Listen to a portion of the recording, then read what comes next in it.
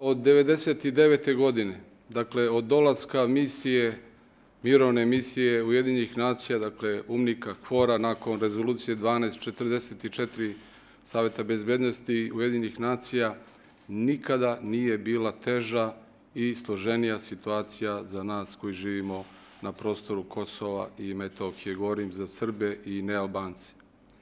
I podsjetio sam ih da smo prošli i prebrodili i sukobe na Ibarskom mostu 1999. godine i 17. martovski pogrom 2004. godine i jednostranu proglašenu nezavisnost od strane Prištine 2008. godine i barikade 2011. godine i barikade prošle godine o kojima su kolege pričale, ali zaista nikada teže, složenije i nikada veću zabrinutost kod našeg naroda nisam video, osjetio nego što je to danas. Moje mišljenje, izneću ga i to sam i njima rekao je, doprinalo je to nekoliko stvari. Pre svega, čovek koji je na čelu privrednih institucija u Prištini, Albin Kurti je čovek koji javno govori da sve do sada što je postignuto, govorimo o brisanskom sporazumu, on kaže nikada neće sprovesti. Dakle, čovjek koji nije za sporazume, koji poništava do sadašnje sporazume koji su postigli, postignuti sporazume, dakle, neće nove sporazume, jedino što kaže, hoće da razgovara u Briselu o uzajavnom priznanju, dakle, sa Beogradom. Dakle, ta isključivost od čoveka koji kaže da e, neće nikada da prihvati da zaživi zajednica srpskih opština u prisustvu ambasadora Kvinte i rekli smo i predstavniku Evropske unije, dakle, a Evropska unija je garant implementacije, dakle, da ima toliku snagu i moć, pitali smo gospodu zašto se to nije desilo, zašto do sada zajednica nije zaživjela, jer mnoga ova pitanja o kojima sada mi govorimo i koje tište naše građane, sigurno je da bi bili, bila već rešena dakle, formiranjem zajednice. I ne samo to, gospodin Kurti, apsolutno svakoga dana, ta retorika koja dolazi iz Prištine, mogu slobodno da kažem, ratno huškačka.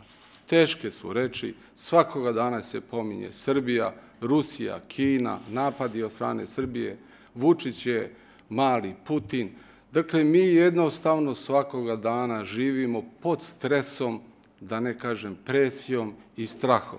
Već je rečeno o upadu specijalnih jedinica ROSU, duge cevi, skoro i verovatno i to znate. Nigde, ja kažem, u svetu nije zabeleženo da se kidnapuje vozač saniteta kliničko-bolničkog centra, odnosno zdravstvenog centra u Mitrovici, da se uzme sanitet, da se sa lekovima i infuzionim rastvorima odveze u nepoznato pravcu i da mi 10 sati, dakle 14 časova preko dana do uveče, ne znamo ni porodica, ni njegova deca, ni direktor zdravstvenog centra šta je sa našim vozačem saniteta, šta je sa lekovima. U bolnici, u severnom delu Kosovske Mitrovice, ti lekovi, tim lekovima se leče i Srbi, ali i nealbanci, i bošnjaci, i romi, i sami albanci. Prošle godine nekoliko ujeda zmija, dakle, albanska deca u južnom delu nisu imali seruma.